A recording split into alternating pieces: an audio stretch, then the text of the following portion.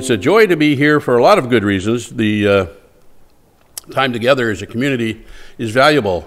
We have so little time as congregationists to get together. We don't have our studies together. We don't have our groups together during the week. You know, this is the only hour that we have, or actually a little less than an hour. I think it's 48 minutes we spend together here. But, uh, you know, it's, so it's good when we get together. And uh, I certainly am thankful for your presence today. That's great. Also thankful for those who are on the YouTube. Uh, we had a delightful report from uh, our brother Jerry about one of our members, uh, one of our viewers that uh, has been watching for some time. And uh, that was a bit of a surprise because you never know who's watching on YouTube. And in this case, it was a real delight. so wonderful to have people with us. And any way we can get them to share the good news of the gospel. There's a little bit of Jesus humor there that some of you may have seen. I have friends of mine in this church, there's three of you, who regularly will find humor. and you know how pathetic I am when it comes to telling a joke, so you save me the problem by sending me stuff.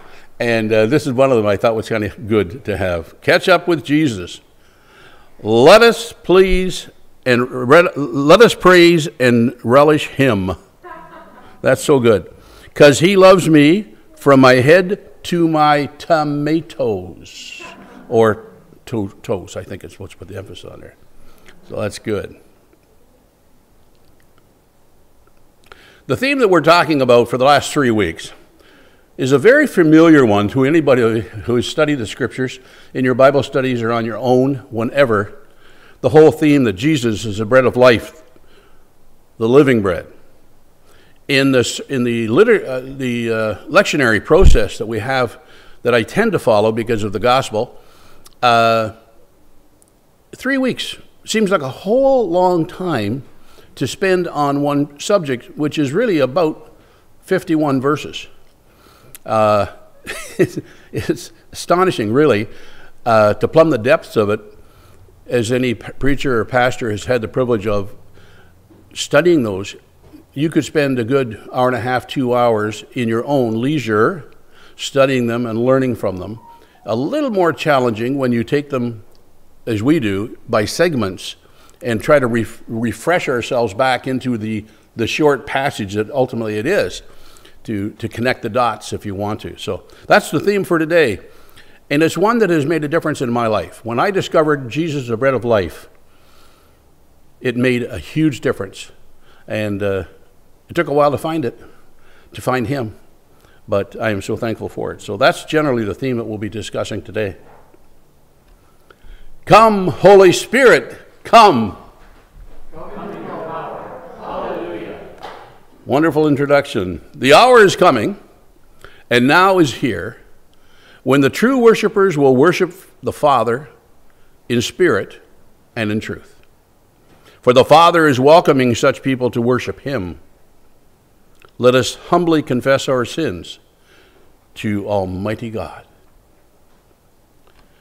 Dear beloved, the Scriptures teach us to acknowledge our many sins and offenses, not concealing them from our Heavenly Father, but confessing them with humble and obedient hearts that we may obtain forgiveness by his infinite goodness, his infinite goodness and mercy. We ought at all times humbly to acknowledge our sins before Almighty God, but especially when we come together in his presence, here in this room, or together via the YouTube. In his presence to give thanks for the great benefits we have received at his hands, to declare his most worthy praise, and to hear his holy word, and to ask for ourselves and for others those things necessary for our life and their life, our salvation and their salvation. Therefore, come with me to the throne of the heavenly grace. Together, Almighty and most merciful Father, we have erred and strayed from your ways like lost sheep. We have followed too much the desights and desires of our hearts. We have offended against your holy laws. We have not done, done those things which we ought to have done, and we have done those things which we ought not to have done. And apart from your grace, there is no health in us. O Lord, have mercy upon us. Spare those who confess their faults. Restore those who are penitent, according to your promises declared to people, Jesus our Lord. And grant, O most merciful Father, for his sake, that we may now live a godly, righteous, and sober life to the glory of your holy name. Amen. I believe that confession helps us almost every day if we were to say it. You know, our Heavenly Father pardons all who truly repent and genuinely believe in His holy gospel. And for this reason, we beseech Him to grant us true repentance and to grant us His Holy Spirit, that our present deeds may please Him, the rest of our lives may be pure and holy, and at the last we may come to His eternal joy through Jesus our Lord. Amen. Well, when you ask, you shall receive. When you ask for forgiveness, He. So the peace of the Lord be always with you. Let's greet each other. nice to see all those folks.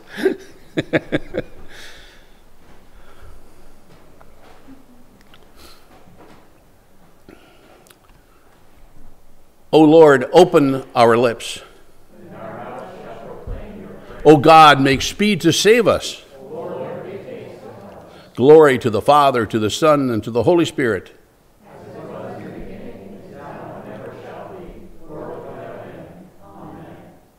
Praise the Lord. The Venite, the invitation to come, is part of the theme of today's message Come to the bread of life. O come, let us sing to the Lord. Let us make a joyful noise to the rock of our salvation. Let us come into his presence with thanksgiving. Let us make a joyful noise to him with songs of praise. For the Lord is a great God and a great King above all gods. His hands are the depths of the earth, the heights of the mountains are his also. The sea is his, for he made it, and his hands formed the dry land. O come, let us worship and bow down before the Lord our Maker.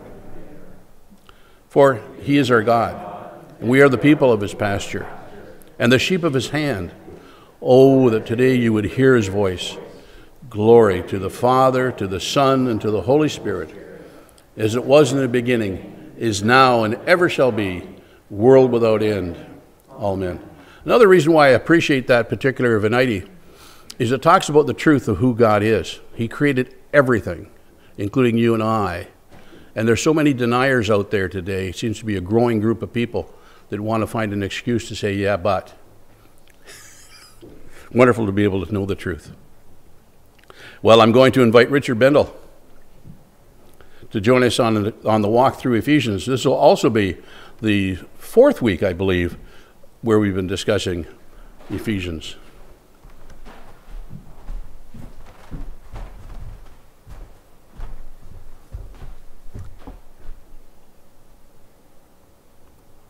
Morning. Paul states, So stop telling lies. Let us tell our neighbors the truth, for we all, we all are all parts of the same body, and don't sin by letting anger control you. Don't let the sun go down while you are still angry, for anger gives a foothold to the devil. If you are a thief, quit stealing. Instead, use your hands for good, hard work, and then give generously to others in need. Don't use foul or abusive language. Let everything you say be good and helpful, so that your words will be an encouragement to those who hear them. And do not bring sorrow to God's Holy Spirit by the way you live. Remember, He is, has identified you as His own, quarantining you that you will be saved on the day of redemption. Get rid of all bitterness, rage, anger, harsh words, and slander, as well as all types of evil behavior. Instead, be kind to each other, tender-hearted, forgiving one another, just as God through Christ has forgiven you. Imitate God, therefore, in everything you do, because you are His dear children. Life, live a, a life filled with love following the example of Christ. He loved us and offered himself as a sacrifice for us, a pleasing aroma to God. The word of the Lord. Thank you, God. You know, Richard, you have just read one of the most powerful messages, short of the Ten Commandments, that you could proof that God wants us to understand. We as Christians can make a big difference, but there's things we will do that will separate us from other people who do not walk the way with Jesus. One of them is say, stop telling lies. Well, so that's probably some of you were a little offended when you heard that. You say, well, I don't lie. Right? Well, the scripture is not just written for you that have read the book and understand and follow Jesus. It's meant for all of us who may suddenly get into the word. And uh, don't sin by letting anger control you. I have to share with you a personal story. This is one that I've always found amazing. My mom and dad only had a few short years to live together before he died at 43. But the one thing that I noticed was they seldom ever had harsh words, at least in front of the kids, right? We, we, we never heard them ever. Now, my dad was a businessman, so I'm sure that he was, had his own challenges at times. And uh, mom was raising five of us at home in a small house, really. And, uh, you know, I'm sure they could easily have been bickering. But I never knew. My sisters never knew. My brother never knew. But the one thing I did hear them, because we talked about it, they did talk about it. Don't let the sun go down while you're still angry. I heard that from their lips. I, and you believe that too, don't you? yeah. I mean, it's so easy to get angry and frustrated. And especially when we are looking at the, the conditions that we're in right now. These are roots of us in this world where we've ever found people are willing to, to take you on for any position. Oh, you're a Christian, you're nuts right? And if, with the media that we have exposing ourselves, anybody who's ever read some of the comment sections in any of the, the feedback that you can get on the Facebook or YouTubes and various places, they're vindictive. They're absolutely hateful. So, any person who walks with Jesus, you're going to be persecuted to that kind of hate because it's easy to do now. And we need to be reminded hold your anger. Don't get half cocked and say something back on your keyboard that you would wish you could now pull back and say, I wish I hadn't done it just quite that way. Anyways, challenging, wonderful opportunity as we realize. And Richard, would you lead us in the prayer? Let's say the prayer together. Father, we know you are the Lord God Almighty, creator of the universe, the earth, and all that is. Let the heavens rejoice. You speak, and the world acknowledges your glory in your Son, Jesus. Through your Holy Spirit, you speak into our lives, that we may live in peace and humility before you and others. We pray that you may see the power of your Holy Spirit working in our lives and empower us to imitate you, Jesus. Let us be a beacon of hope in the challenging world that needs to hear the good news of salvation. Amen. Wonderful. Richard, thank you so much.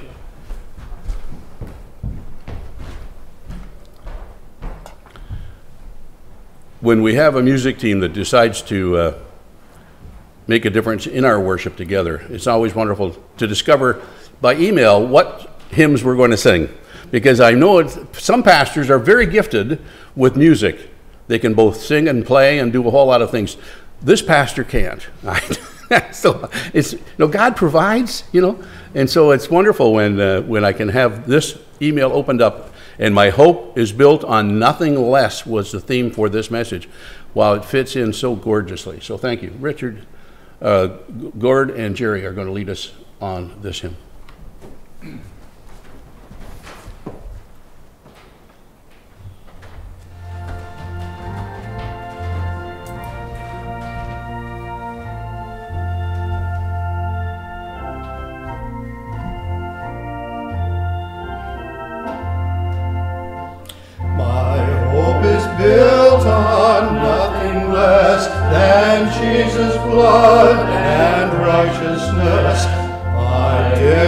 Trust the sweetest frame, but wholly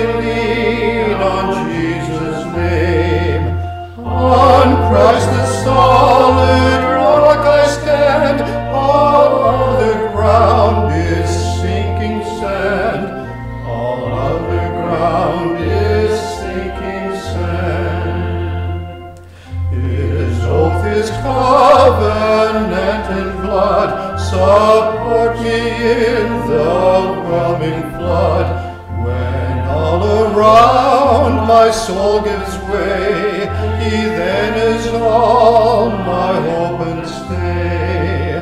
On Christ the solid rock I stand, all other ground is sinking sand. All other ground is sinking sand.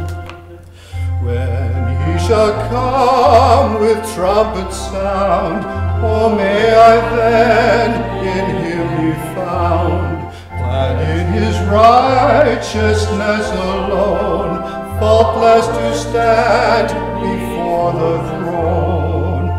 On Christ the solid rock I stand, all other ground is sinking sand, all other ground is sinking sand.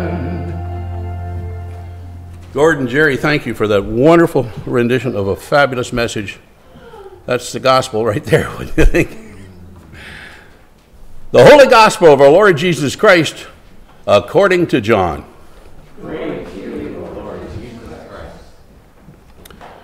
Jesus said to those present, I am the bread of life. Whoever comes to me shall not hunger, and whoever believes in me shall never thirst. So the Jews grumbled about him because he said, I am the bread that came down from heaven. They said, Is not this Jesus, the son of Joseph and Mary, whose father and mother we know? How does he now say, I have come down from heaven? Jesus answered them, Do not grumble among yourselves. No one can come to me unless the Father who sent me draws him or her. And I will raise him up on the last day. It is written in the prophets, and they will all be taught by God. Everyone who has heard and learned from the Father comes to me. Not that anyone has seen the Father except me, except he who is sent from God. He has seen the Father. Truly, truly, I say to you, whoever believes has eternal life. I am the bread of life. Your fathers ate the manna in the wilderness, and yet they died. This is the bread that comes down from heaven, so that one may eat of it and not die. I am. I am the living bread that came down from heaven. If anyone eats of this bread, he will live forever, and the bread that I will give for the life of the world is my flesh. The gospel of, of Jesus. Father, may the words of my mouth and the meditations of all our hearts present be worthy in thy hearing. Amen.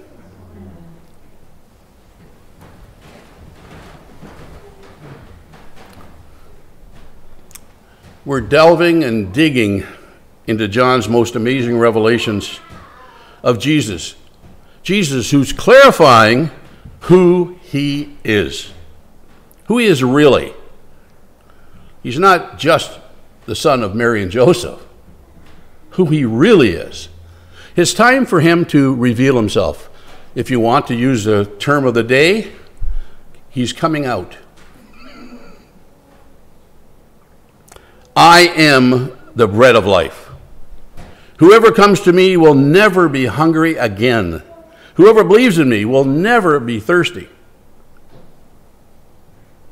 This is very important to us followers here today. Is he just a miracle man who seems to have the power to take five loaves and two fish and turn them into enough food to feed thousands of people on a hill? Is he like Moses, declaring God's gift of manna in the wilderness to the enslaved people fleeing Egypt? No. No, Jesus is much more. John is reporting the coming out, the declaration, the identifying of his true identity, his true nature. They were missing out on the fact that their Messiah had come. In this passage, Jesus is declaring these things are the evidence, these miracles that he's doing, are the evidence that he is God, Father's Son, come down from heaven to earth, incarnate, God Himself, to God's chosen people, and even the Gentiles of the day. Jesus is signifying that it is He who is capable of sustaining life. He's not just a food dispenser. This is in contrast to the crowd's sense that it was the bread from that miracle that sustained them, but they would be hungry again. But Jesus proclaims don't miss the point of the miracles.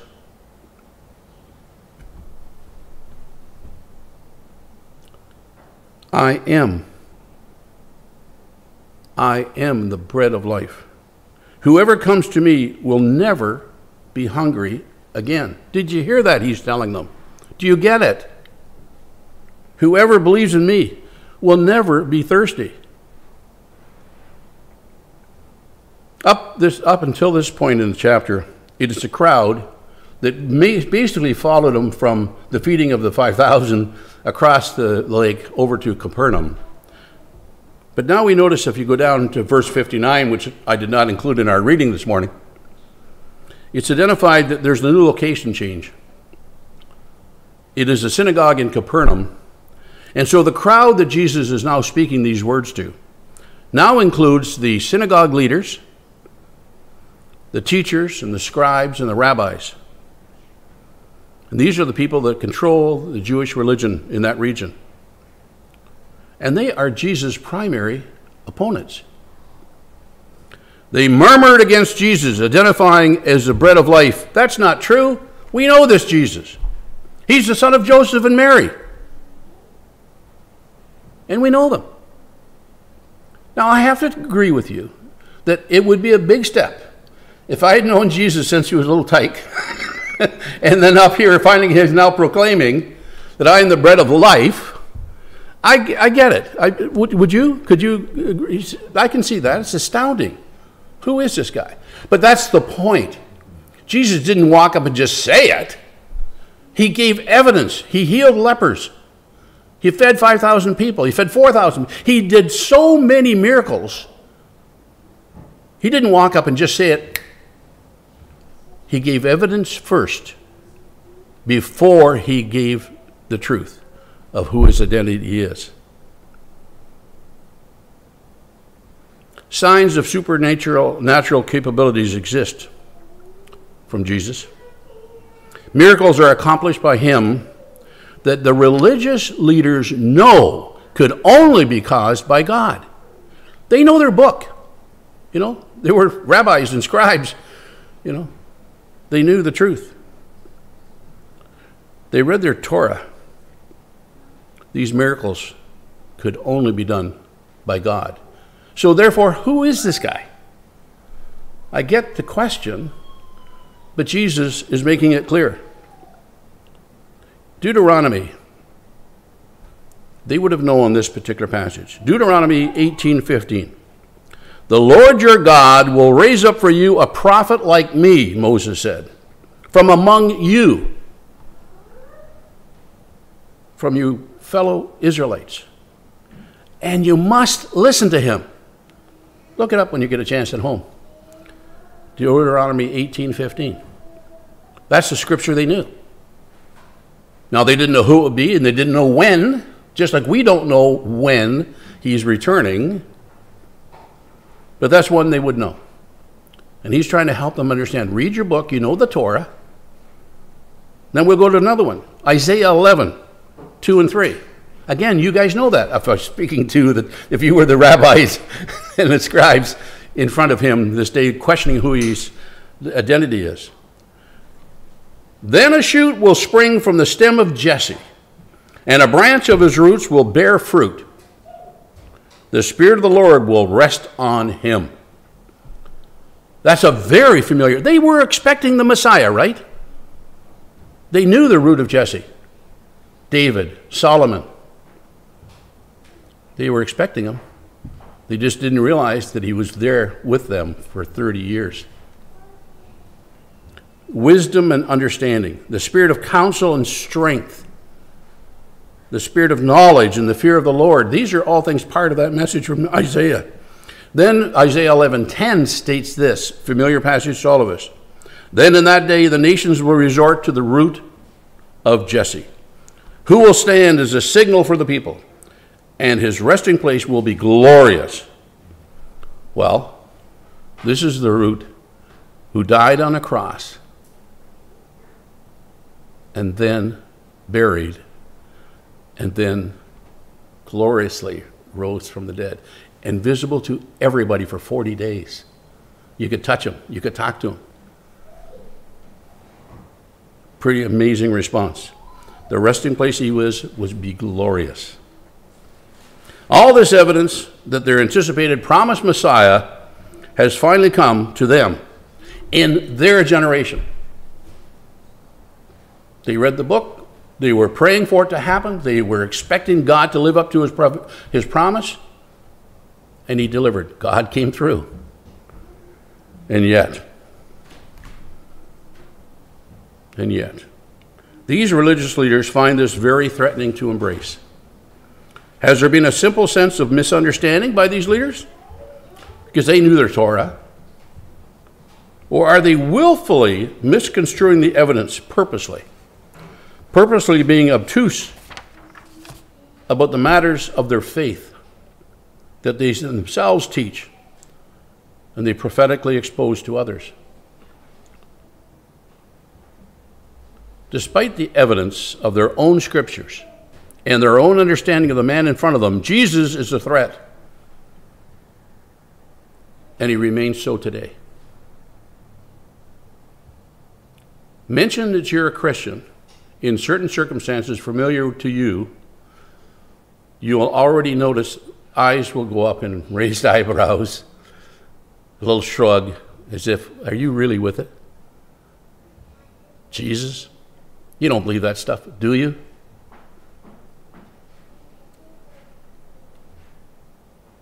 as Christians, we sometimes don't want to accept what is being taught in the evidence that we have now in this very generation of 2020.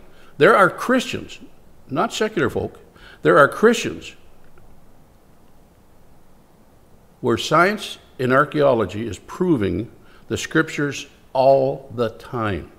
I receive messages from a program out of Israel almost every day, but regularly during the week and they are showing breakthrough news of where another discovery, another tunnel, another cave has been found that's found in the book, especially the Jewish Torah, right?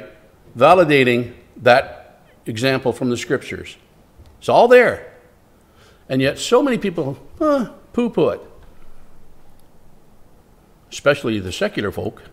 But it's most challenging for those of us that believe in the book called the Bible. So I think sometimes we're fighting the obvious.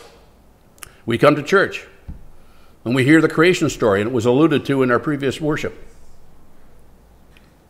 That creation story. Well, I think some people will try to rationalize the theory of evolution as Christians. If you're with, you know, a group of non-Christians or very liberal Christians, and you sort of almost want to apologize for believing in Noah and the ark or believing in evolution of Genesis. And you know what's story so strange about that? Rationally trying to justify that you don't believe in the very book you tend to believe in is one thing. But when the scientists of the day and the archaeologists of the day, they themselves, maybe many of them unbelieving, are finding it preposterous to have faith in evolution. Over and over and over again. Another position of Darwin and his company from the 1840s to this day are being poo pooed by the scientists of the day. If they're true scientists, even if they're not Christian, they have to admit again, wow. Many people still deny the growing DNA evidence that each human being, each of us in this room, each of us that are viewing this program on YouTube, each and every single person, the seven billion of us on this planet, are uniquely designed by God. And DNA, over and over and over again, proves it. One of the more popular programs on public TV is a program where they talk about the history through DNA of celebrities. Did you know you're associated with this guy and that person and whatever, whatever? It's really interesting, right? Some of us in the room have done what I have done.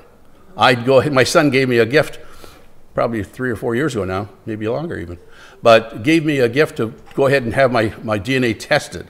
And I have to be honest with you, at first I didn't know if I wanted to or not. And then I thought, gee, wouldn't it be exciting to find out if I was a Jew? or had Jewish blood in me, because that would really turn me on. I mean, you know, I was hoping, right? Well, it turns out I don't.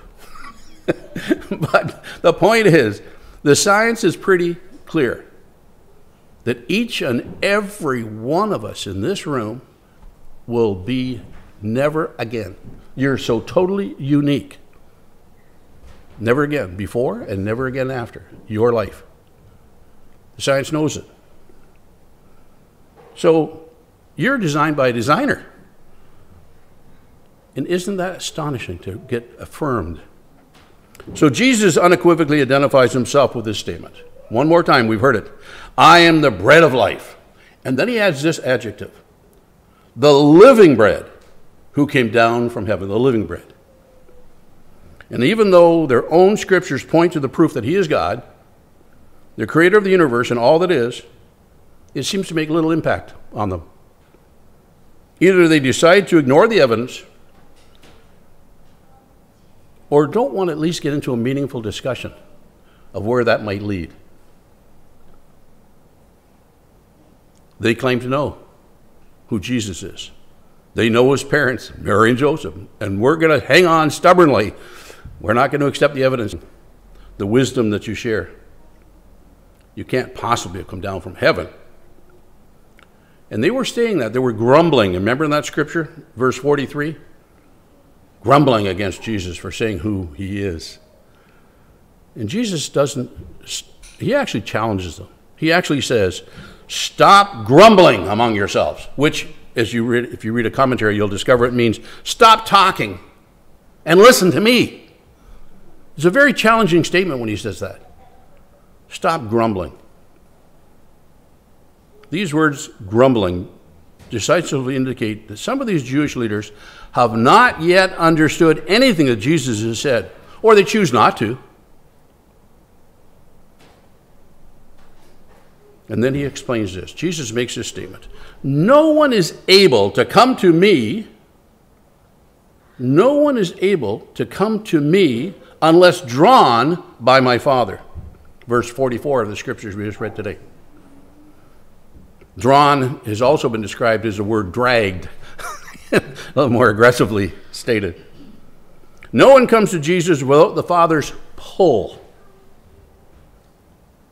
No one comes to Jesus without the guiding Spirit of God. And my friends, that's what happened to me. I was gently led to the conviction that Jesus was real, not just a storybook that we celebrate at Christmas, but a real person. So in the next verse, Jesus refers to his own scriptures, Isaiah 30, 54 13. And I looked this up again. There's several versions of it, but this one really is the one that I think makes it most clear. Jesus says, All who heard from the Father and learned from what they heard will come to me. He's speaking right to that group of learned people, religious leaders, and of course the crowd from the hillside. He's making a powerful statement. All who heard from the Father, how would you hear? From the Torah being read in your synagogues and your communities, right? They heard, right? And learned what they heard. And again, if the rabbi is doing his job, the scribes are doing their job, they're going to explain what they just heard.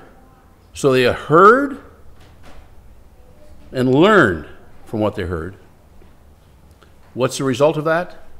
You will come to me.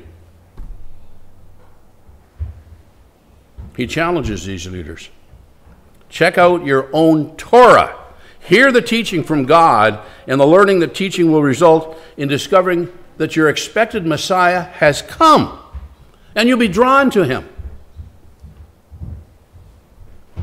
For these Jews, Jesus is indicating the choice of a messianic understanding of their own tradition and God's prophecy. Well, the time has come. Whatever choice Jesus makes, it's clear. It cannot happen by yourself. You won't get to me by yourself. You can only get to me by being invited.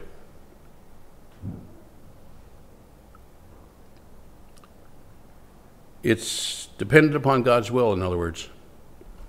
The Father's call, and they're accepting the call when they hear it to follow Jesus. The grumbling was because they were trying to fit Jesus into their tradition, their framework. They weren't really accepting the truth that their Savior had come. Now, my friends, I think I could look comfortably at most of you and say, There was a time when you would be much like those people hearing Jesus talk, I am the bread of life, the living bread. And you might have said, Oh, yeah, sure. we would have taken it sarcastically, maybe. I understand that. That's my experience. I grew up attending church, born cradle Anglican. Went to St. John's Church as a baby and was infant baptized. Went to that church every Sunday because my father was head of the Sunday school. He was a youth group leader. It was, you know, it was mandatory. You show up, you go. You can complain all you want, but you come. Right? Well, I understood that, and I did my complaining. But I must admit, it was joyous when I came to church. There was people I got to learn and like, and I'd see my fellows from school that were there, and we'd hang out together, even, you know, giggling at each other on a Sunday. But I must really admit, during that time, I never really believed the evidence of a living God. I'm not even sure it was taught in that sense. And you know what bugs me is I probably was taught, especially by the minister of the day, Mr. Lane. He, uh, he was a pretty orthodox guy, so I suspect he did it, I just wasn't hearing. Maybe you were like that at some point. Well, that was a case of never believing there was a living God until November of uh, 18, 18 yeah, 1981. Some of you think that 18 was. I'm not that old yet. But my point being, on that wonderful November 1981, I stopped holding off and accepted Jesus as my Savior. Is that your experience too? Could you put a date at somewhere or other when you kind of walked into the belief that this was real? So, as I'm closing, I want to share this. Jesus is uh, living is teaching a metaphor that these people would understand. They need bread to live. It was a staple of their diet. But this metaphor is not about food that perishes, except a couple of brands I have I've had in my house. And if you go away on a trip, come back, it's still as fresh as it was you left. So it makes you wonder what's in that bread. But that's another story. But my point being that they know that food has a purpose, but it does perish. And also, you can eat bread, and three or four hours later, you want more. Jesus is talking about what? Right? When he says bread, it's essential, it's necessary, it's important in your life. He's really talking about spiritual bread. And it's going to bring you to everlasting life. A living bread within you that is never exhausted. I am the bread of life, Jesus said. A spiritual bread that will sustain you when you accept it, internalize it. But Jesus is not finished with his point. He makes this in conclusion of verse 51 that you heard me today. The bread I will give for the life of the world, hang on, is my flesh. Now you can imagine what the scriptures are going to be about next week. Because that's the last verse of this reading, right? As we continue the challenge. The bread I will give for the life of the world is my flesh. Now, that would be insulting at the time he said it. But the difference is, you and I have read the book, right? There's not too much doubt in my mind that most of us present or those on YouTube get into a Bible study quite regularly and read, and you know what it says in that book. We know a few pages from now, in John, we will discover that Jesus did indeed give his flesh on the cross. That flesh that was damaged and bruised and pierced. He did. But they don't know that yet, right? According to the scriptures we've just read, they're, hold it, guys. You just said you are giving your flesh. Well, it means, hang on, folks. You're going to hear shortly, in a few more months, what I mean literally when I say I'm giving my earthly flesh. And what's it going to do? It's going to redeem God's people from their sins. The promise is that He's giving up His life on the cross, and He'll do it willfully. God's provision. God's provision is to make His people worthy to live in His presence forever. Yes, we will die. There's not much doubt. Most of us I'm looking at, you're looking at me, we'll all probably pass as our ancestors have. That's true. But the promise of the scriptures is you will live eternally. You will live knowing you're saved because of what Jesus did on the cross and because of his redemption, his redemption res- resurrection. So that's your destiny. And Jesus will make it happen, my friends. It's good news. So, who in our own families, our friends, and congregation needs to let pride, secular culture, and false teaching go? Let it go away. Who do you know? So they can hear and understand and be drawn to Jesus like you have. It's frightening when you think, I couldn't be bold enough to share that with these people. They might say a mean thing to me. and they will, very likely. But that's the point. If these are people you love and care for, take that bold step again and again and again, knowing that at some point God's invitation will be heard. It's God who draws your loved ones to Him. But He wants you to share the good news. Do not give up. This is our eternal hope. Jesus saves and is reaching out to you today and to share the good news that you have a Savior. His name is Jesus, the living bread. Amen.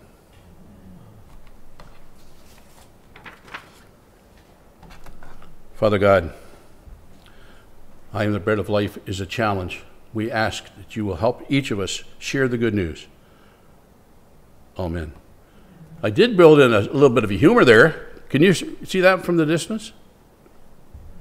Here's Jesus feeding the 5,000.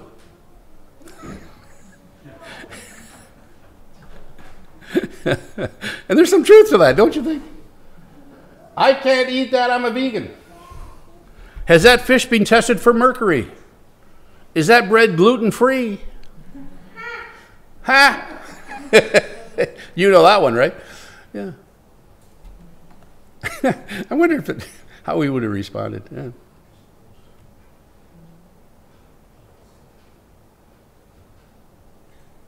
Well, one way we can respond in this room together and those on YouTube, we could stand together and share the truth, the Apostles' Creed, joining with people all around this country and around the world. I believe in God, the Father Almighty, creator of heaven and earth. I believe in Jesus Christ, his only Son, our Lord.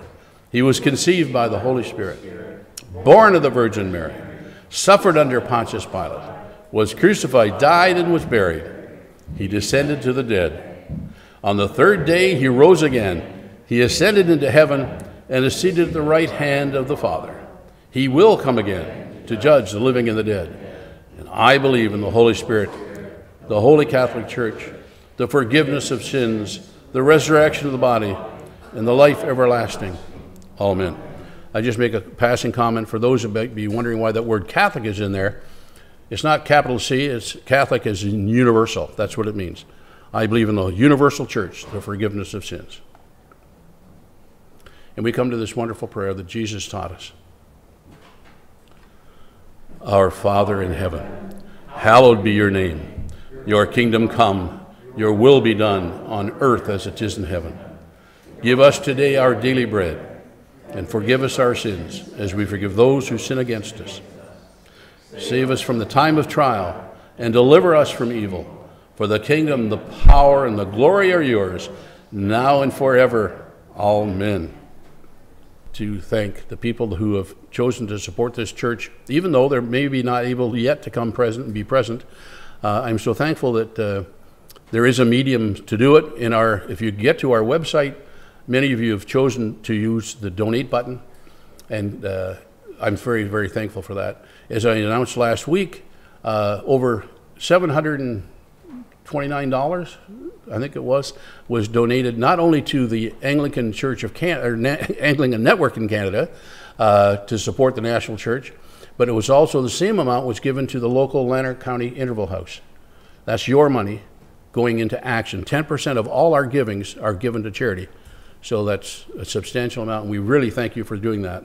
Lord, we give you thanks that we have people who are faithful and givers in keeping this church, contributing to the community, making it possible that we can be able to reach out to all who are present. In Jesus' name, amen. Prayers of the people. O Lord, show us your mercy. O Lord, save our nations. Clothe your ministers with righteousness. O Lord, save your people. Give peace in our time, O Lord. Let not the needy, O Lord, be forgotten. Create in us clean hearts, O God.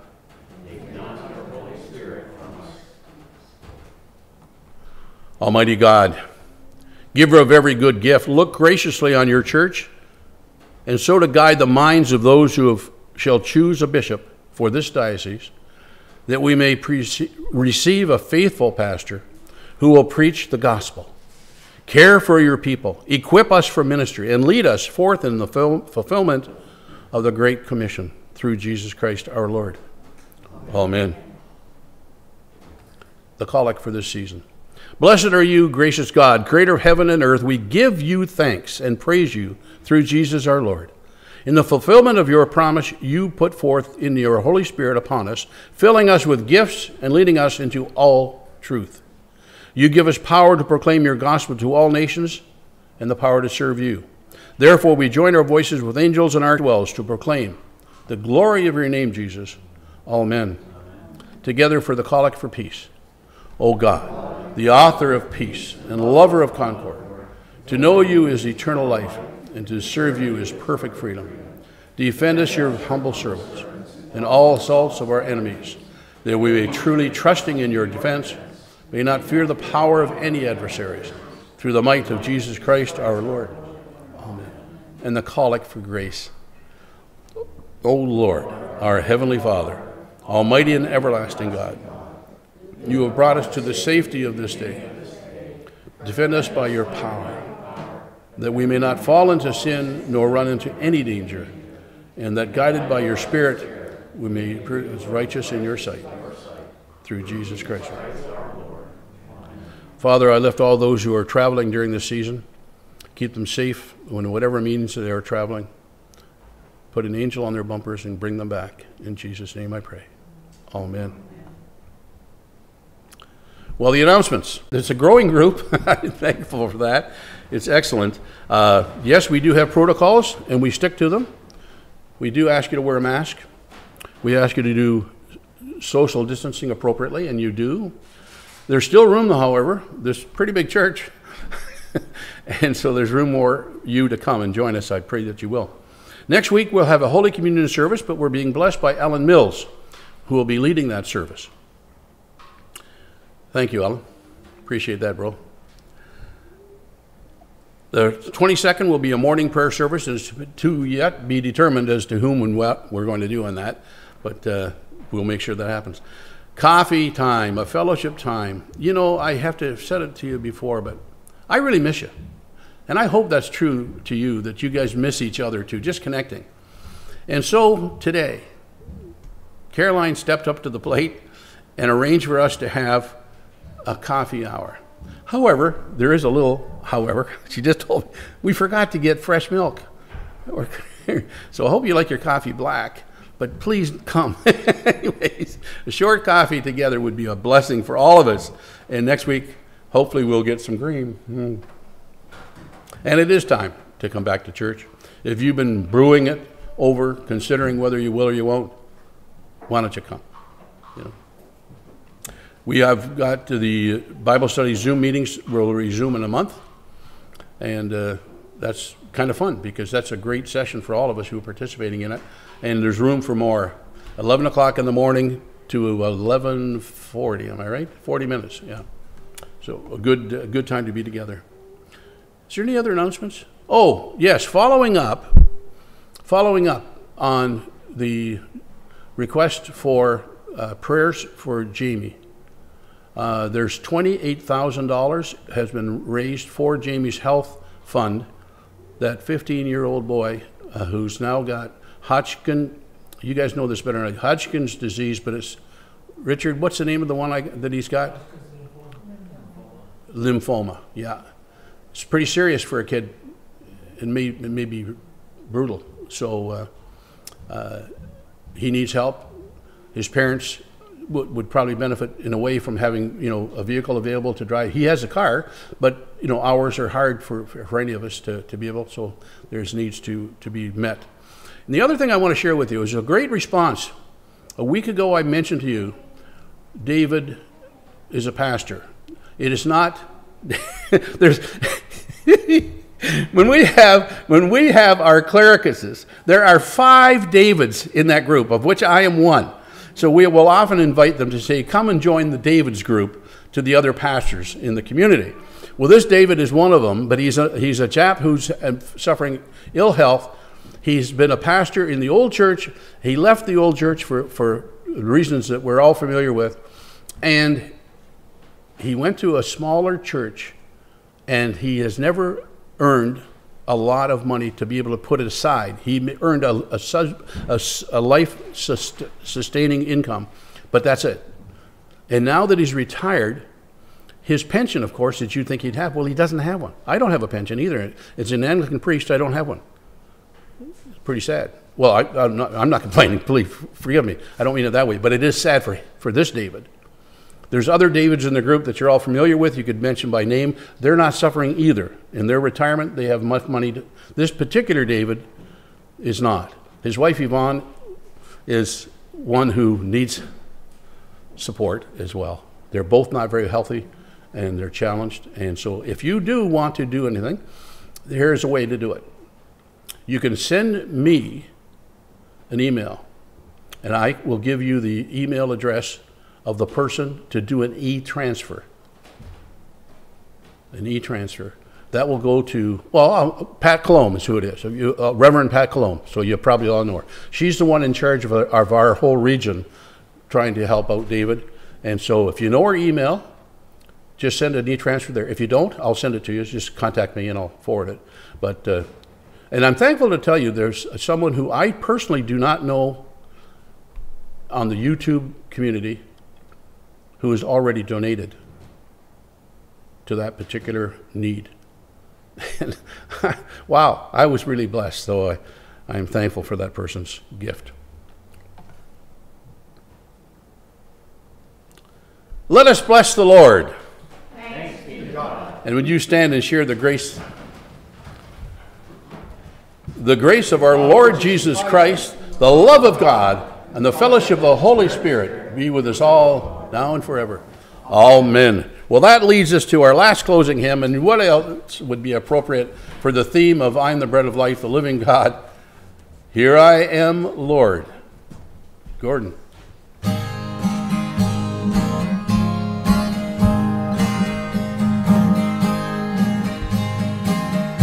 I,